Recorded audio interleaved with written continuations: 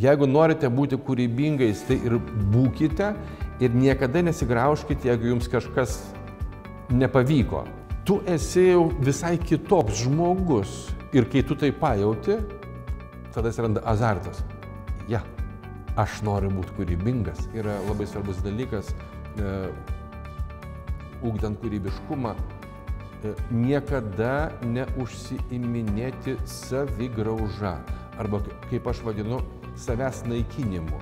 Jeigu negalit e, nerašyti, tai rašykit. Bet jeigu ne, eilėrašius, jeigu negalit nefilmuoti, filmuokit, gal siužetus, gal dar kažką.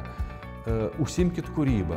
Savęs lavinimas ir savidisciplinos ieškojimas, mm, uh, kaip aš ir, ir studentams sakydavo visuomet, mm, ar tu telekė dirbsi, ar bet kurioje kitoje srityje vis dėlto yra pagrindinės dvi raidės, tai yra RS - reiklumas savo.